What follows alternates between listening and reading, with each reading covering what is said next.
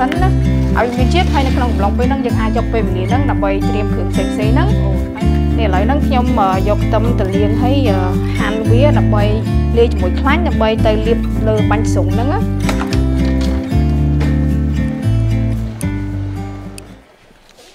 សួស្តីបងប្អូនទាំងអស់គ្នាចាថ្ងៃនេះខ្ញុំនឹងត្រៀមម្ហូបខ្លះៗដើម្បីទទួលភ្ញៀវឥឡូវហ្នឹងកំពុងតែត្រៀមសាច់មាន់សាច់មាន់នេះខ្ញុំនឹងកាប់វាហើយបន្ទាប់មកយកវាទៅចៀនហើយនេះគឺជាត្រីត្រីនេះគឺជាត្រីបាសា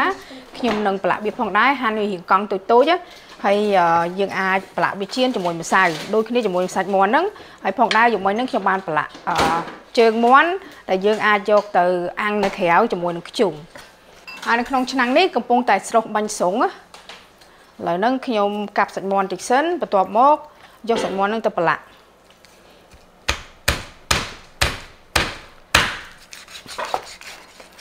តាមពិតទៅសាច់មាន់ប្រភេទណាក៏ដោយបើសិនជាយើងចង់កាប់វាហើយប្រឡាក់វាដើម្បីយកវាទៅបំពងហ្នឹង គួរតែប្រឡាក់វាមកយប់មុនណាដើម្បីវាចូលជាតិឆ្ងាញ់ប៉ុន្តែដោយសារយប់មិញហ្នឹងខ្ញុំយកមាន់ចេញហ្នឹងមាន់ហ្នឹងវានៅកដល់ពេលអញ្ចឹងទៅខ្ញុំទុកវារៀងលាយដើម្បីវាលាយតកសិនមុនកាប់វាដល់ពេលអញ្ចឹងវារៀងយឺតតិចប៉ុន្តែអីទេឲ្យតែយើងអាចប្រឡាក់វាយ៉ាងហោចណាស់2ម៉ោងហ្នឹងបន្ទាប់ពីហ្នឹងយើងអាចយកវាទៅបំពងបានដែលយើងចង់បានហ្នឹងអត់វាមានជាតិហ្នឹងយើងប្រឡាក់ពីមុនមកយប់ទៅវាមានជាតិជាងវាមានជាតិចូលសាច់តែម្ដងណានេះឥឡូវមកមើលបាញ់ស្រុងបាញ់ស្រុងនេះខ្ញុំបាន ដាក់វាសុសហ្នឹងហើយបានដាក់ម៉ោងហ្នឹង13ទៅ15នាទីយើងអាចមកមើលបានណា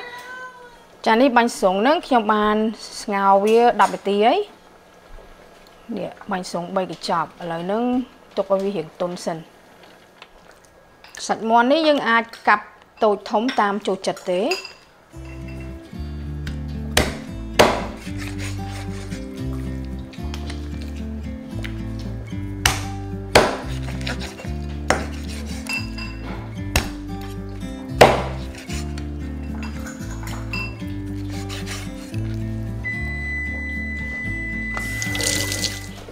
នេះឥឡូវបាញ់ស្រុងឆ្អិនហើយឥឡូវខ្ញុំនឹងលើកវាចេញអានេះខ្ញុំបានស្ងោរវា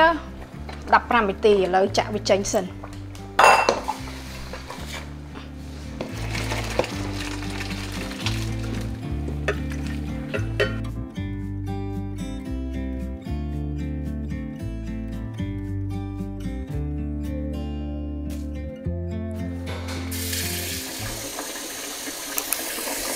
នេះបើកទឹកត្រជាក់ឲ្យវាត្រជាក់បន្តិចសិនកុំឲ្យវាជាប់គ្នាហើយណាមួយកុំឲ្យវាកាន់តែលួយ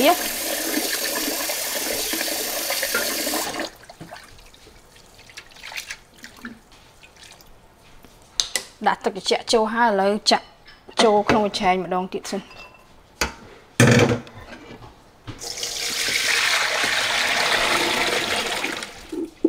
នេះវាជាប់បាត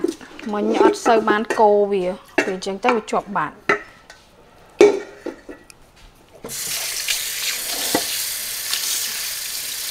ឥឡូវយើងបញ្ជាក់តិចហើយ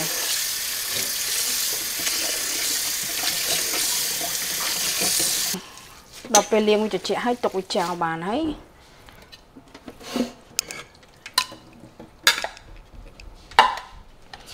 នេះមាន់ពីរហ្នឹងឥឡូវកាប់ហើយហើយឥឡូវហ្នឹងខ្ញុំនេះ ត្រីបាសាមួយកធុនប្រហែលជា2គីឡូឥឡូវហ្នឹងខ្ញុំហាន់វារៀងកង់តូចៗដើម្បីយកវាទៅប្រឡាក់ដើម្បីយកទៅបំពងផងដែរ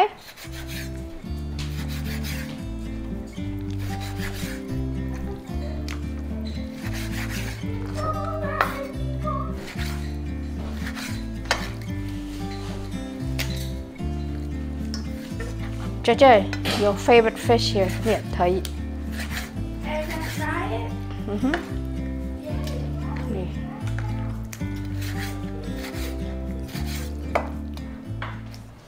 នេះឥឡូវសាច់មាន់ក៏កាប់ហើយហើយនឹងនេះគឺជាត្រី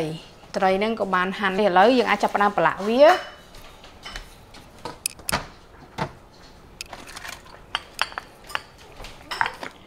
នេះឥឡូវយើងអាចចាប់ផ្ដើមប្រឡាក់មាន់ដែលខ្ញុំបានកាប់ហើយហ្នឹងអាហ្នឹងគឺជាមាន់ពីរឥឡូវនេះយើងអាចថែមណា នេះដាក់អំបិលអំបិលនេះមួយស្ព្រាបាយហើយនឹងនេះគឺជាស្ព្រាស៊ុបអញ្ចឹងណាខ្ញុំនឹងដាក់វាមួយស្ព្រាបាយកន្លះហើយស្ករក៏ដូចគ្នាមួយស្ព្រាបាយកន្លះហើយប៊ីចេងបើសិនជាអ្នកទាំងអស់គ្នាចង់ដាក់ដាក់បន្តិចមកអានេះបើបារាំងឃើញថាយើងដាក់ប៊ីចេងញ៉ាំទៅវាខូចសុខភាពតាមពិតទៅអត់មានការសិក្សាណាដែលនិយាយថាញ៉ាំប៊ីចេងខូចសុខភាពទេគ្រាន់ថា យើងញ៉ាំក៏ញ៉ាំច្រើនពេកយើងញ៉ាំមកល្មមដូចថាដាក់មកមានជាតិណាតាមពិតទៅញ៉ាំអ្វីក៏ដោយមិនគ្រាន់តែញ៉ាំប៊ីចេងថាវាខូចសុខភាពទេញ៉ាំស្អីក៏ដោយឲ្យតែញ៉ាំច្រើនគឺថាខូចសុខភាពទាំងអស់ជាពិសេសរបស់ឆ្ងាញ់ឆ្ងាញ់ដូច្នេះប៊ីចេងហ្នឹងដាក់ទៅដើម្បីឲ្យវាបង្កើនរសជាតិ ហើយបើសិនជាមន់បំពងហ្នឹងយើងជាអាសាបំពងវារងថ្ងៃក៏ខូចសុខភាពដែរប៉ះពាល់សុខភាពប៉ុន្តែបន្លែហ្នឹងបើសិនជាយើងញ៉ាំវាដូចថាឆាដាក់ខ្លាញ់ច្រើនក៏ខូចសុខភាពបើសិនជាយើងដូចថាចំហុយវាញ៉ាំប្រហែលជាអត់សូវអីចាដូច្នេះវាតាមយើងញ៉ាំប្រហែលទេឥឡូវហ្នឹងនេះជាម្រេចម្រេចហ្នឹងខ្ញុំនឹងដាក់វាក្លាសពីបាយអូអស់បាត់ហើយនេះត្រូវដាក់ថែមទៀតហើយឥឡូវហ្នឹងខ្ញុំនឹងកូរវាឲ្យសព្វចូលគ្នានេះ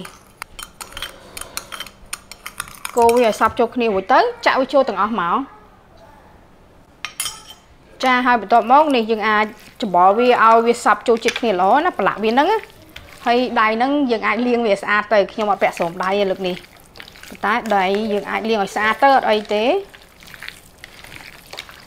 ច្បល់វាឲ្យអំបិលហ្នឹងវាសប់ដូចថាសប់កន្លែងសាច់មាន់ហ្នឹងណា រាល់ដងខ្ញុំពងជាមួយជើងមាន់ស្លាបមាន់អីអញ្ចឹងប៉ុន្តែលើកនេះកាប់មាន់ទាំងមូលតែម្ដងហើយសាច់មាន់ជួនកាលអ្នកខ្លះចូលចិត្តធូងទៅអ្នកខ្លះចូលចិត្តស្លាបអ្នកខ្លះចូលចិត្តជើងអីអញ្ចឹងណាដល់ពេលអញ្ចឹងទៅវាមានគ្រប់មុខមាន់ពីរនេះមានអីច្រើនទេតា ចាបន្ទាប់ពីបានច្បល់វាម៉ាស្សាវាហ្នឹង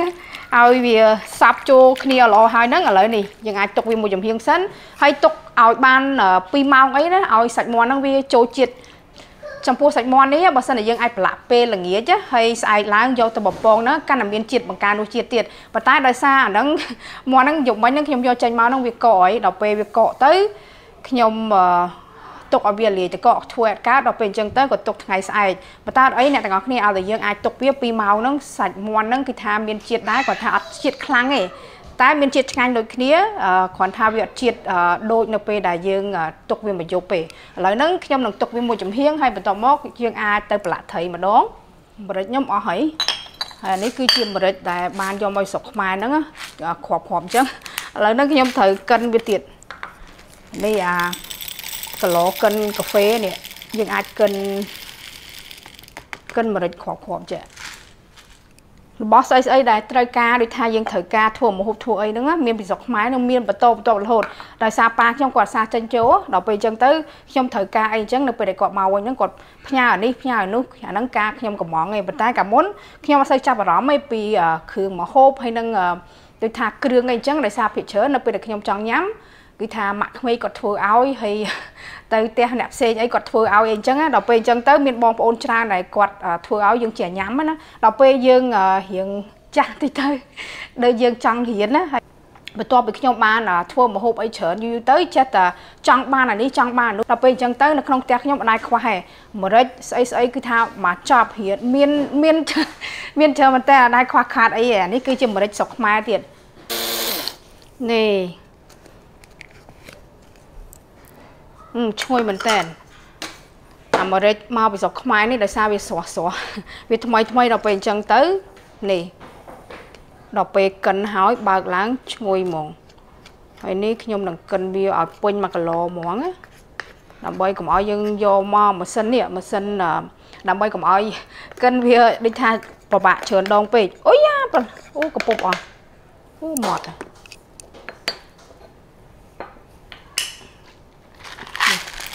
ទៀត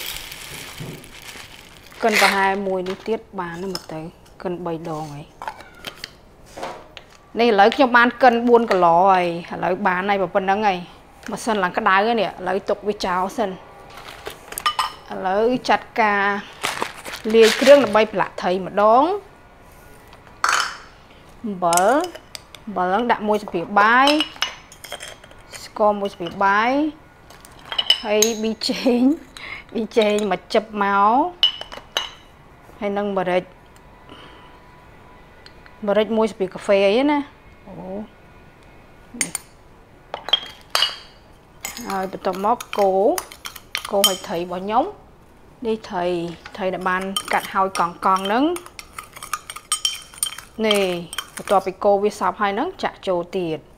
អានេះចាក់ចូលអានេះប្រើដៃក៏បានច្របល់ជាមួយលឹកភៀងចេះក៏បាន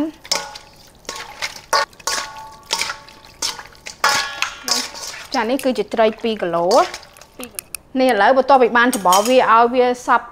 ចូលគ្នាល្អហើយហ្នឹងឥឡូវហ្នឹងទុកវាមួយចំហៀងទៀតជាមួយនឹងសាច់មាន់ហ្នឹងនេះសាច់មាន់នេះសាច់មាន់នេះទាំងពីរហ្នឹងទុកវាចោលសិនណាឲ្យមានជាតិហើយនៅក្នុងកំឡុងពេលហ្នឹងយើងអាចយកពេលវេលាហ្នឹងដើម្បីត្រៀមគ្រឿងផ្សេងផ្សេងហ្នឹងហើយឥឡូវហ្នឹងខ្ញុំនឹងទៅក្រោយផ្ទះដើម្បីកាត់ស្លឹកខ្ទឹមបន្តិចដើម្បីយកមកដាក់បាញ់ស្រុងខ្ញុំហ្នឹងលាយជាមួយនឹងខ្លាញ់ហ្នឹងនេះឥឡូវយើងអាចយកនេះទុកសិន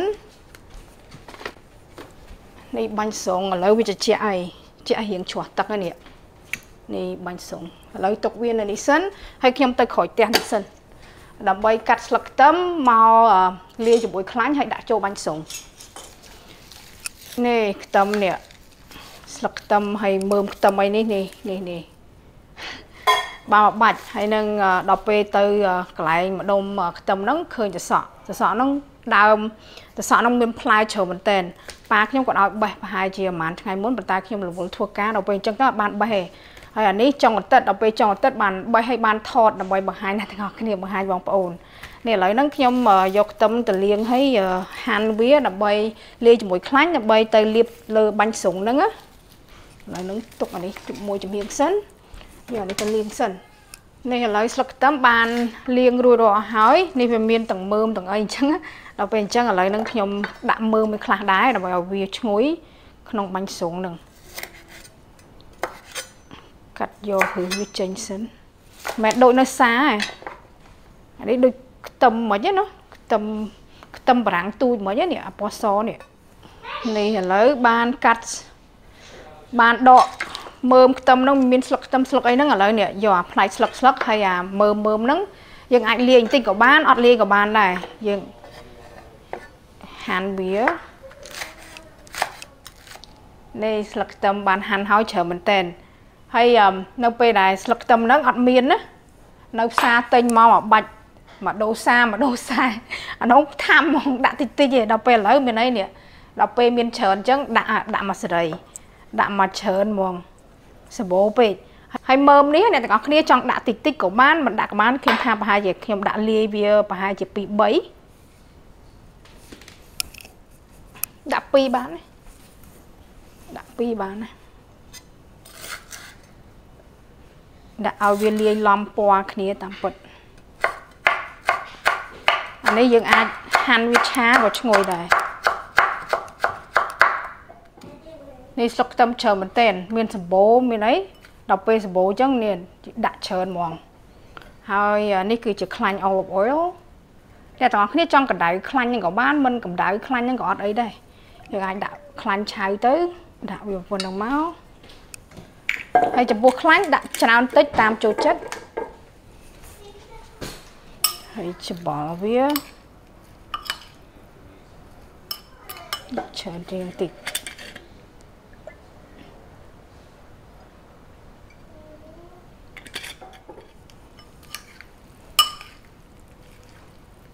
ថាមិននឹងតូចពេកនេះឥឡូវនេះបាញ់ស្រុងវាត្រជាក់អី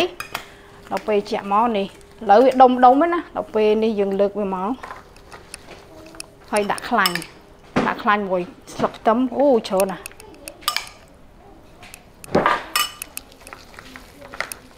ហើយចំពោះស្លឹកខ្ទឹមអ្នកទាំងអស់គ្នាមិនបាច់ដាក់ច្រើនអញ្ចឹងឯងបើសិនជាសបោដាក់ច្រើនទៅតែបើអត់សបោមិនបាច់ដាក់ច្រើនទេ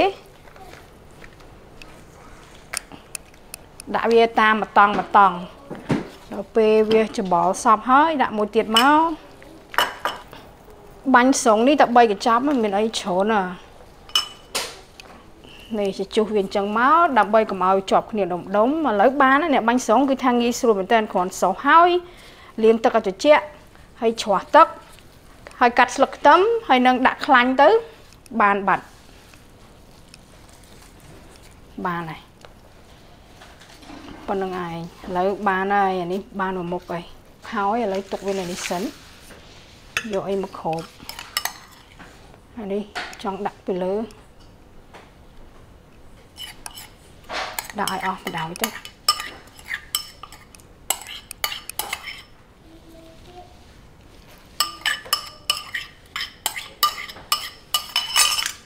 យ៉ានេះយកមកដាក់ Yeah put on that side there Yeah this side there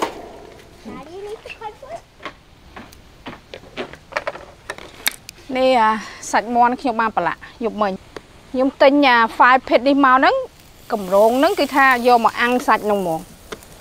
យើងអឺដុតភ្លើងលេងបដាអាំងសាច់បដា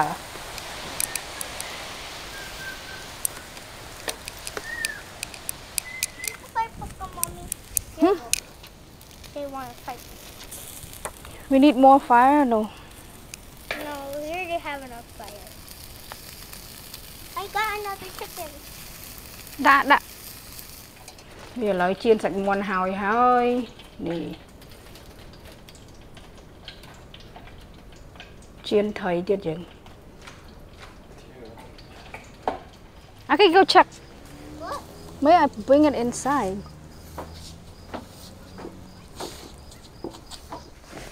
Watch, Hmm. watch it look nice. គួយចិត្តភ្លើងវិញលេងឆេះឆេះ នេះស្បែកស្បែកសាច់មាន់ស្បែកមាន់ញ៉ាំមួយសិនអាគីយកសាំញ៉ាំ No. I'm still working. ហឹមយកមកគឹងទៅញ៉ាំមីគូស្បែកមាន់ឆ្ងាញ់ហឹមមកបោះនៅមុខអញ្ចឹង Yeah. យ៉ាត់ ដល់ពេលញ៉ាំហើយដល់ពេលញ៉ាំ Mommy, Vincent got another one, so I got another one. Mommy! Mommy!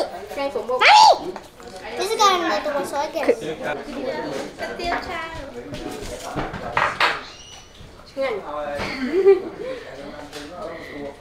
មីងមកស្រុកខ្មែរហើយនេះនេះពូ ạ នេះពូមកស្រុកខ្មែរដែរជូនកូនមកបន្តការសិក្សា ចេះជូនកូនមកកូននាំមកកូននាំមកកូននាំពូឲ្យមីងមកកាន់ដា